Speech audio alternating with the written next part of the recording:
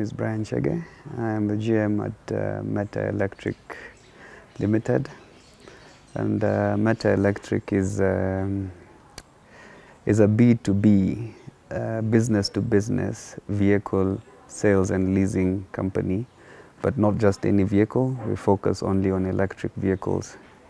Um, our focus as a company is to um, help companies and businesses in Africa um, convert their fleets from petrol and diesel engine uh, vehicles to purely electric vehicles. We believe um, in the rest of the world there is a lot of electrification going on across the world and uh, I think um, African businesses have been ready to also enjoy the cost savings and uh, the advantages that come with running an electric fleet as opposed to having a petrol or diesel run vehicles in their fleet. We are a fairly new company. Um, we have been working on this for over one and a half years now.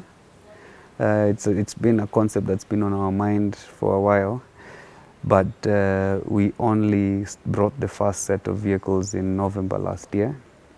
And that was the first achievement. So we got these vehicles from uh, BYD, BYD, which means Build Your Dreams, is the biggest uh, um, electric vehicle manufacturer in terms of units sold. But other than that, they're also the biggest uh, battery supplier in the world. They've been in existence since 1993 and uh, one of the biggest suppliers of Chinese electric fleets. So um, we've been in discussions with them about bringing some of their vehicles into Africa and uh, we have been looking at different kinds of models until we said let's start with the with the van which might be a bit easier to bring in test the market and see how it goes. And that is what we brought in and launched uh, yesterday on the 29th of April. And uh, we intend to offer this to um, uh, logistics companies uh, delivery services, e-commerce companies, um, uh, security, and hotel and airport transfers. Yeah. So we that is the main achievement that the vans are now here, and there is an open line to import as many more as you want, depending on the client feedback. The, the launch yesterday was only uh, it's merely a flag planting exercise eh, to just uh, stir up the market and uh, inform our relevant players and stakeholders and, and get them to interact with the vehicles and get them to see that this is a movement that is has, has been in everybody's lips. We've, people have been discussing it, but also get them to see that it's here and it's happening and uh, try to get everybody on board so that we can move forward in this aspect. So and then um, in terms of vehicles, we are looking at the whole range of commercial vehicles um, starting from light to medium trucks all the way to motorcycles that cover. So when, when I say that, I'm covering buses, um, small Nissans, matatus as you would call them, um, refrigerated trucks, tuk-tuks, and even uh, motorcycles. Yeah. Um, electric vehicles, it's, it's, it's been quite clear and it's been proven in other parts of the world uh, from an individual point of view as a, as a business person spending on these vehicles that the cost of operation of electric vehicles is um, uh, unimaginably cheaper than your normal petrol or uh, diesel vehicle. Um, just to give you a good example, a typical um, electric vehicle will cost you around uh, for 300 shillings, 300 to 400 shillings to run 100 kilometers while a petrol diesel vehicle of around 2000 cc engine capacity will cost you around 1500 to run the same distance. So you can imagine here you're saving up to um, 70 to 80 percent in terms of cost of fuel. Um, cost of maintenance, um, and a petrol vehicle, a petrol or diesel vehicle has at least 4,000 moving parts in its drivetrain um, while an electric vehicle has 400 moving parts. So you can imagine there is no all these uh, small nuts and bolts moving in within an electric vehicle. So think of it as no oil changes, no gasket changes, no valves clogging up all the time. All these are costs that simply just disappear. All you're left with is just your uh, minimum of 10% of what you usually spend on maintenance. Yeah, so in terms of cost and uh, fuel and maintenance, it's you'll save a lot. You save up to 80% of what you usually do. But other than that, I mean, uh, electric vehicles promote uh, very clean air. They have zero emissions. Uh, they have uh, they come with a lot of brand and uh, brand equity and customer equity. So you can imagine as a businessman, if your fleet is all electric, you can imagine how much respected then uh, your customers, wholesalers, and other stakeholders in the market will have for you. So there is so many advantages to electric vehicles, other than just the cost. Uh, or that was just to mention a few. Um, the World Bank estimates that in across the world, maybe by 2030, we'll have 25% of vehicles in the world being electric. Africa is still very much behind, less than 1% of the vehicles are electric. Um, so I would say it's still a long way to go. There is a lot that needs to be done for us to get to that point. But it is the end goal. I mean, governments have to realize that uh, for us to um, to meet our Paris climate goals or even the, achieve the sustainable goals of development, we have to start with transport because transport co uh, contributes to up to at least 67% of the carbon emissions and the, the climate change that is caused in this country. So if we are to achieve that, we have to start looking at the big uh, factors that contribute to these carbon emissions that cause climate change, and one of them is transport. So and for us to do that, again, government has to come in and spur this industry. And one way to do that is possibly reducing the subsidy uh, taxes they charge on uh, electric vehicles. So ideally, the cost of an electric vehicle is up to 80% um, higher than your normal internal combustion engine vehicle.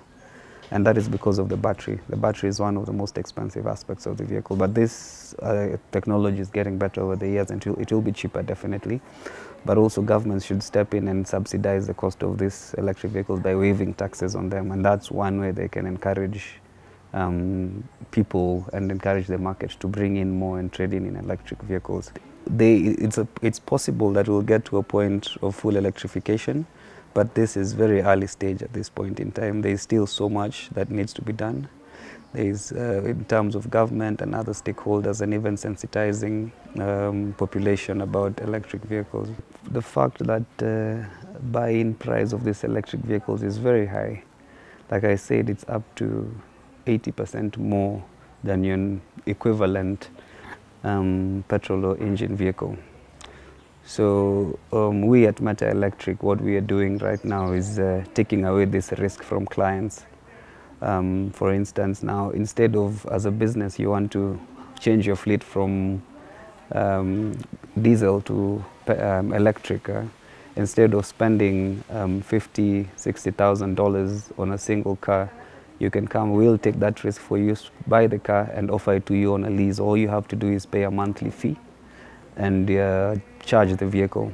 So our lease deals typically range from uh, um, a semi-dry lease, which includes uh, maintenance, service and maintenance of the vehicle, insurance, and um, uh, tire changes every few uh, thousand kilometers.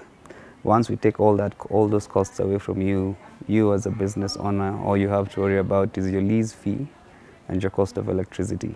And if you need a driver, your, the cost of your driver. The vans that we imported recently uh, from China, um, they would retail at around uh, 5.5 to 6 million, which is very high compared to your normal um, petrol van of similar size, which will probably be half that cost. Yeah, so that is what that's what I refer to when I say talk about the very high buy-in costs of these vehicles.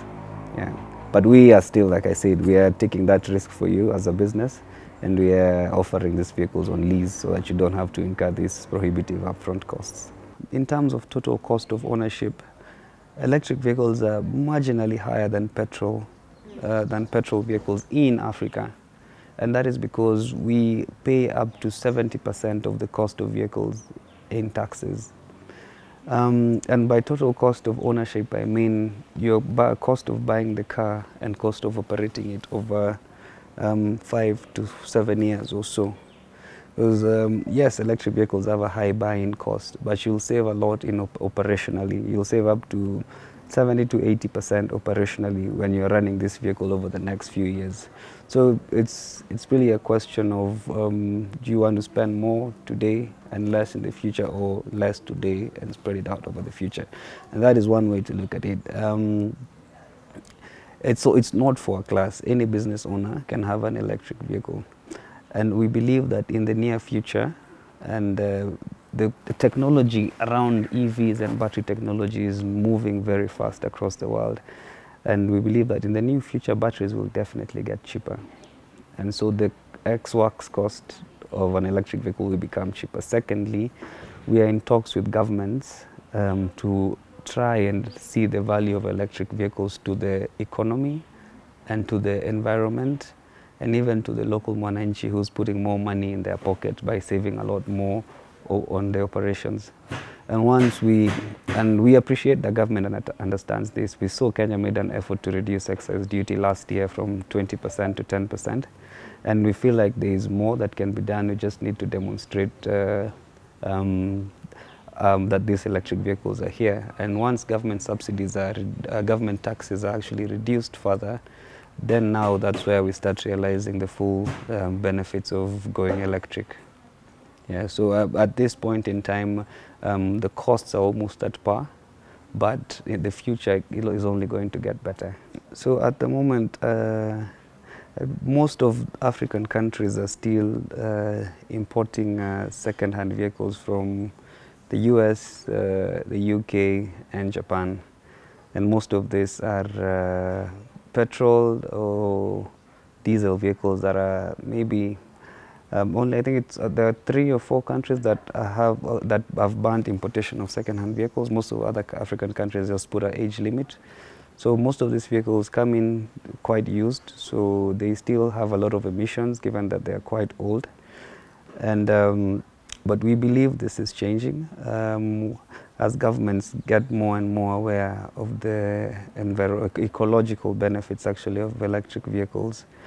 We we see that this trend will improve. And away from transport, we have to appreciate the fact that uh, a lot of, uh, especially here in Kenya, we are producing almost 93 of our energy is clean through uh, um, our hydroelectric power. And uh, we actually produce a lot more power than we use. So there's, uh, there's a lot of surplus power which can be used by um, charging these electric vehicles and save.